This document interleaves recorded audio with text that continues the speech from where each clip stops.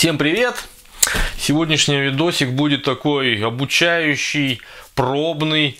А, все вы знаете, кто не знает, я приобрел станок токарный по дереву. И вот, наконец-то, я дождался самые дешевые резцы с Китая. Кому интересно, здесь все оставлю ссылки на станок, на резцы. В чем суть сегодняшнего видоса? Буду смотреть, что за резцы. Сразу видно невооруженным глазом, что, конечно же, говняные. Но для меня, для начала работы, чтобы понять, что к чему, я думаю, они мне пойдут.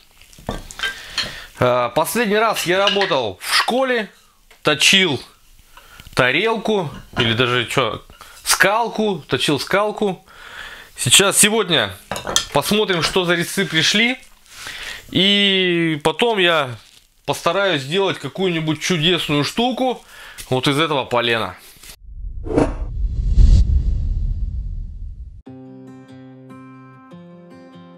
Начнем по порядку. Пришло вот таких таких три. Такой плоский один. Пришли таких два такой один и такой. Всего мне пришло раз, два, три, четыре, пять, шесть, семь, восемь, восемь резцов. По цене полторы тысячи. Я вам скажу, что это вообще дешман. Теперь посмотрим поближе. Если вам сейчас видно, что видно, что заточка и обработка всех резцов грубейшая. Заточка как бы есть, но все косо. Так, здесь не видно. Вот здесь видно лучше. Заточка косая, все кривое. Но свои, наверное, свою работу они выполнять будут процентов на 80 точно. Ну, Китай, что сказать. Галимый Китай. Вот такие резцы. Таких у меня три штуки. Такие резцы предназначены для грубой обработки. Рейер если я не, если правильно говорю, кто знает, поправьте. Они служат для того, чтобы обработать груб, грубую обработку сделать и подготовить брусок уже к дальнейшей обработке. Следующее. Месь, месь, месель, месель, месель. Надо почитать, если честно э, все эти функционалы. В общем, их два штуки. Вот такой вот один маленький, другой большой. Они служат уже для более четкой обработки, для гладкой, для не финишной, а уже для того, чтобы а, сделать, э, подготовить под узоры. Опять же, им можно отрезать. Короче, делать можно что угодно. Есть еще два. Это вот такие. Такие резцы нужны, я так понимаю, уже для узоров каких-то. Все опять же косо, если вы видите, да? Я так понимаю, что вот эта заточка должна быть ровной. Конечно же, ничего нового я не сказал, если только для себя. Ну, кто-то может и не знает. Так, начинаем работать рей рейером. Сейчас устанавливаем чурку. Ну и потом буду по ходу пьесы, наверное, все рассказывать. На самом деле я очень жалею, что заказал на Алиэкспрессе, потому что, ну, качество само со себя говорит. Всегда, когда я что-то ищу, я всегда перехожу на Е-каталог. Вот, к примеру, сейчас мне надо найти ножовку по дереву, я беру и ищу именно там. Для этого захожу в поиск, набираю ножовка, Расширенный подбор. Здесь можно ввести, за какую сумму вы хотите купить свою ножовку. Дальше производитель. Э, производитель, ну, в принципе, я не сильно разбираюсь, поэтому можно выбрать любые. Тип стандартная. Назначение по дереву.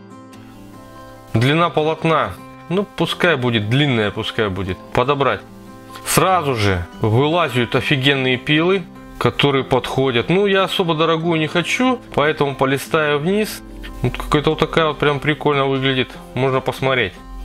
Здесь все характеристики, то есть написано все про эту ножовку, э, отзывы, обсуждения и сравнить цены. Здесь можно выбрать цену, которая приемлема для вас. Ну, в, данном, в данной ситуации кувалда.ру.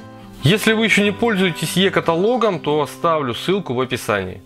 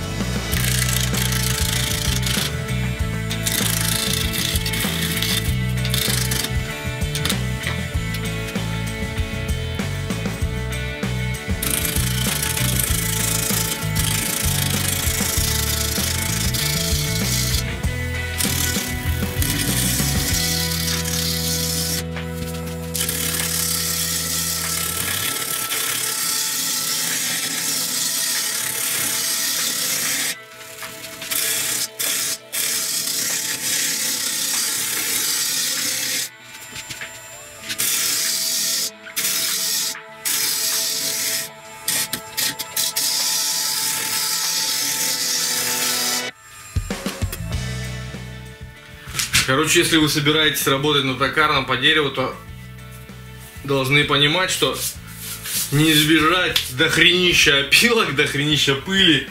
Благо, что она у меня сыроватая. Э, как бы это и минус, и как бы это плюс. Минус в том, что когда изделие высохнет, оно потрескается, береза трескается, ее надо правильно сушить.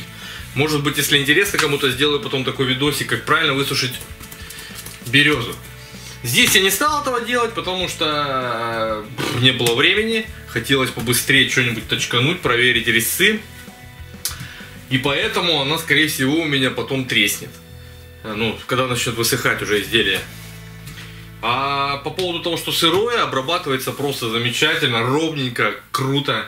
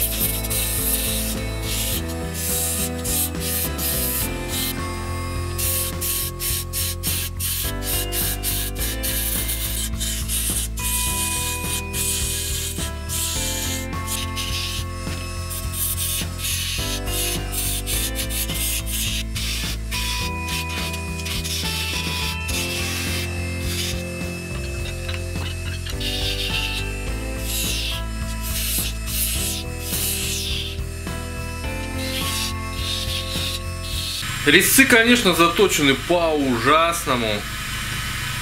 Ну и, наверное, тут металл стрёмный. Я так предполагаю. Ну, как бы если не каждый день точишь, то в принципе можно заточить, поработать, что-то выточить.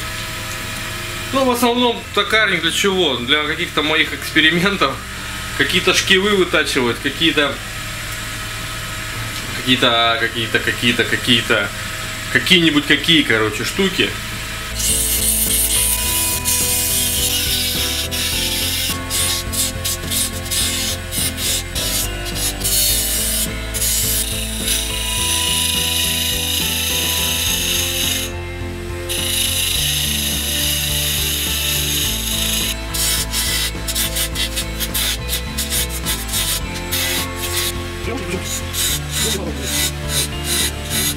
Дело непростое, как бы не казалось, как это все просто. На самом деле можно и пострадать даже. Также может и закусить, и ударить, и, блядь, шар выбить. Короче, надо быть аккуратным. Э, лучше всего, конечно, работать в очках. Лучше в маске, если вообще неопытный. Я неопытный, но как бы очки снял, не видно нифига. Ну, уже грубые работы все сделаны.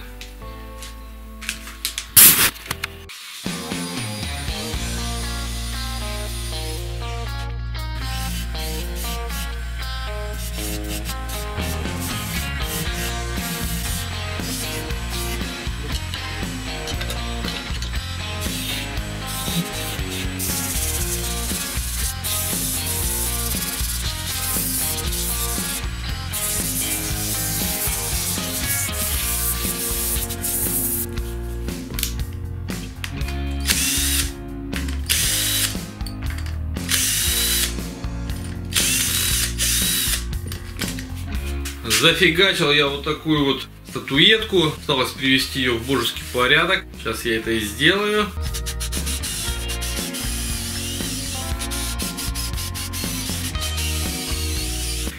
Масло, воски для дерева, колеры. Оставлю ссылку отличного качества. Там будет скидка 10%.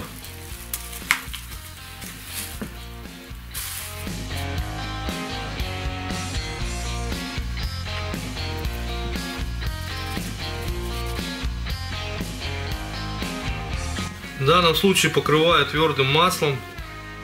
Обильно покрываю и оставляю на полчаса.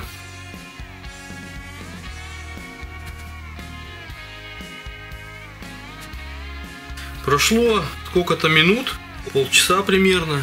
Все лишнее вытираем. У нас получается вот такая вот декоративно красивая. Хотелось бы, конечно, темнее. Ну, какая есть.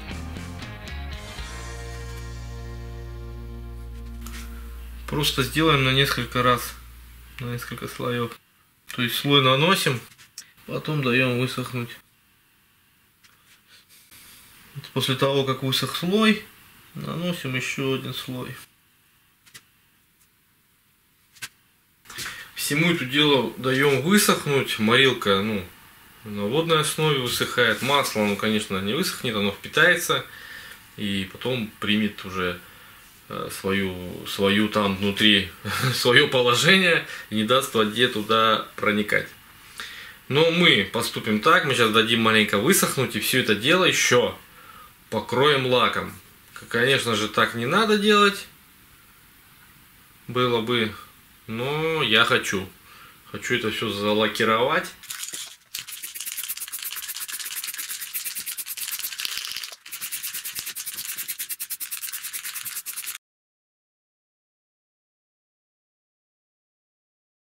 Еще не подсохло, сделаю вот такую вот оригинальную подставочку для ручек. Пойдет к детям на стол на письменный.